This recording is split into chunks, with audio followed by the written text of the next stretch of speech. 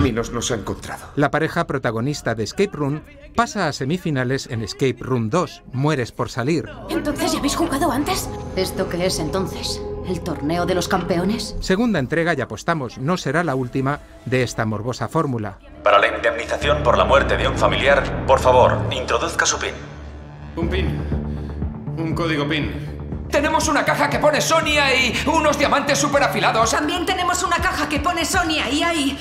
Hay dos fajos de billetes en blanco. No sé qué significa. Nuevamente, y como en la original, un grupo de desconocidos ha de ir solucionando a contrarreloj una sucesión de enigmas en sofisticadas escape rooms, donde los errores se pagan muy caros, casi siempre con la vida.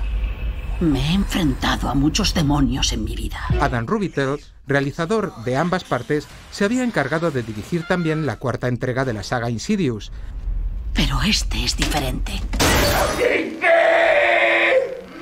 Y anteriormente a aquella, The Taking of Deborah Logan, Found Footage, en el que un caso de Alzheimer escondía una realidad incluso más aterradora que la propia enfermedad.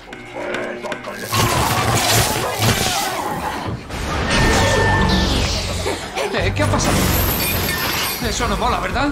Eh, ¿Qué coño está pasando? No lo sé, el vagón se ha desenganchado. ¿De qué estás hablando? Se han separado los vagones.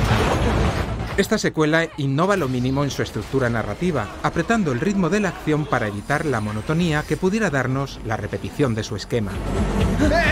¡Agarraos a lo que podáis!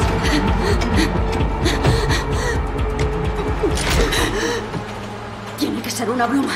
Los aficionados van a recibir lo que iban buscando, aunque seguramente echarán en falta algo más de ambición y de respuestas respecto a la sociedad que construye estas trampas y sus motivaciones.